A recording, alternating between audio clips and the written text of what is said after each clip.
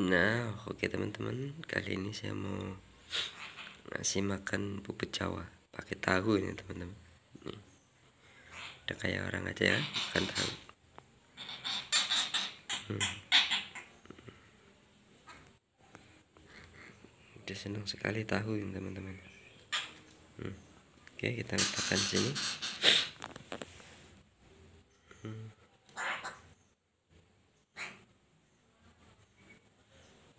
อืมนะครับเนี่ย